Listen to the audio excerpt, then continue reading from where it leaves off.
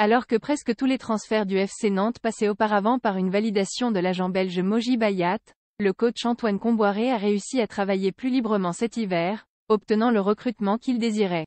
Explication. Une fois n'est pas coutume, le FC Nantes a bouclé son mercato avant de céder au fameux panic buy ou en restant totalement muet, ce qui est plus rarement arrivé. Avec la présentation ce lundi après-midi d'Andy Delors les Canaries achèvent un mercato d'hiver marqué par les arrivées de Florent Mollet, Jawen Adjam et Joao Victor qui compensent trois départs et la blessure de Quentin Merlin.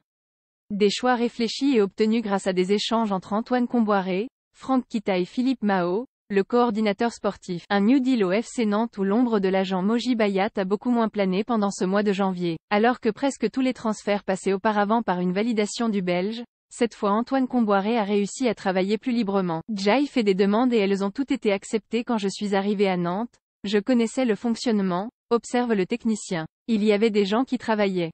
Pourquoi les deux fois où Monsieur Kita me demande de venir je ne viens pas? Parce que je sais comment est le club. Quand je viens, finalement, c'est parce que Nantes est en grande difficulté et que Jay envie d'aider le club. Mais je sais à quoi maintenir. Je ne me suis pas plaint en me disant. Quand je partirai les gens qui sont là au club, ils seront encore là. Le Canac a donc fait le dos rond en avançant tranquillement ses pions et ses demandes jusqu'à ce début d'année. Je n'ai pas lâché et je suis content car Jai fait des demandes et elles ont toutes été acceptées. Jai fait des demandes et elles ont toutes été acceptées.